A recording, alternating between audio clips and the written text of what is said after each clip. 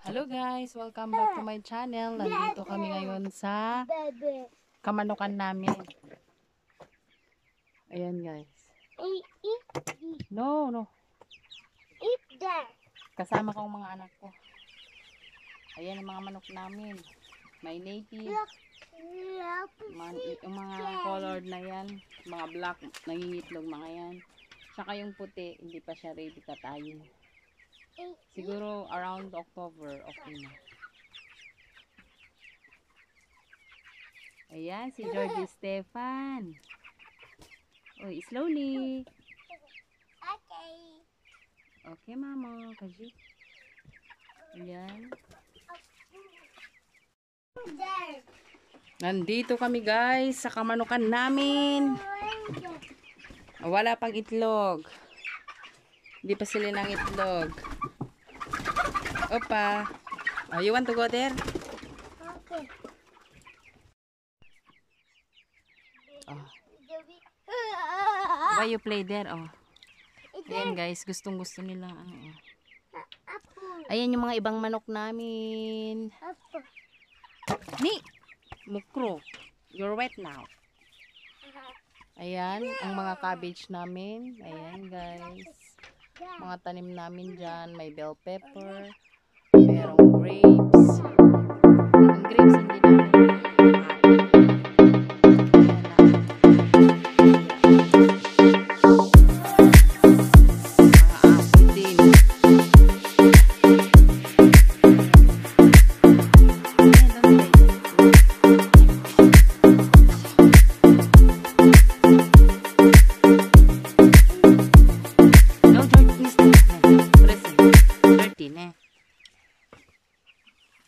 That's for ano.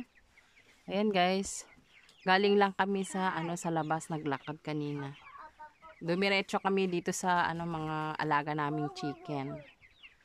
Almost around 80 plus ito eh. Mama, look. Look. Mm, what is that? Ni? Stephanie ni. Come, come. Mukro ni. Ayan. Ito yung trees guys. Ito yung hazelnut. Yung kinuha namin doon sa front yard.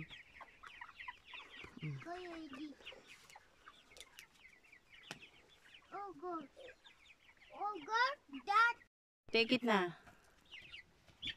Hmm. Stand. How do you see them?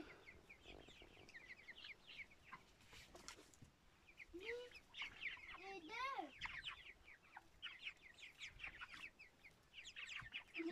There.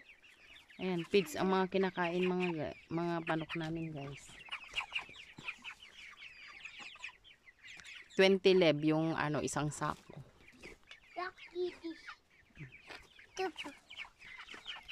Ayan, ang dalawa kong anak makukulit. Ay, ni, ni, ni. We go na, we go na. Ayan guys, oh, ang daming nabulok na apple dito sa yard namin. Ayan.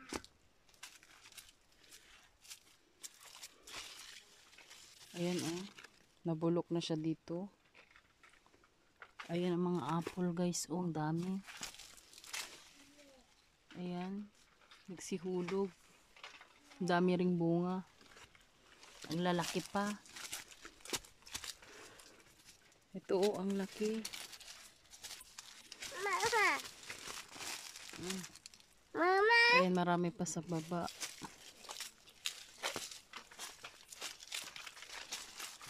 Ang daming nabulok. Oh? Ang dami ding nabulok na cucumber. Ayan. Ayan ang cucumber. Oh. Look. Electra. Ayan ang aso namin, si Electra ang kulit. Mama. Yes, I see. Mama. Yes, I see the cucumber. Ta. Ayan ang apple namin. Ayan. Hindi namin makain. Sayang kung malapit lang sa Pinas. Ayan oh. Yelong-yelo na guys. Ang daming nabulok dito sa baba. Marami pa dito oh. Ayun, nabulok na din sa taas. Ayan oh. Oh. Ayan guys oh. Hindi namin na-harvest. Ang daming nabulok. Ito oh, yellow na. Pwede nang i-harvest pero ang dami pa sa taas. Ayan. Ito pwede harvestin. Ayan guys, oh, nag-harvest ako. Ang laki. Ang daming bulok oh. Kita ko sa inyo, yung bees, ayan yung mga grapes namin, nabubulok na sa taas. Kasi marami pang grapes doon sa, ano eh, sa loob ng bahay. Ayan guys. Kinakain na lang ng bees. Masa, ma- matamis ito. Ayan, yung mga black grapes.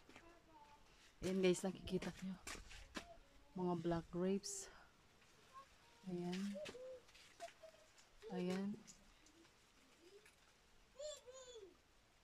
Ang daming bunga pero ayan guys. Hindi na namin makain. Sa dami ng mga prutas. Ayan guys.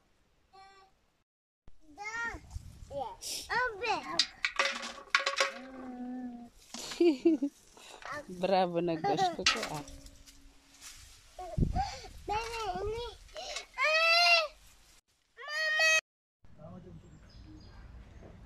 Which one? This. Nag-cute oh. Naku.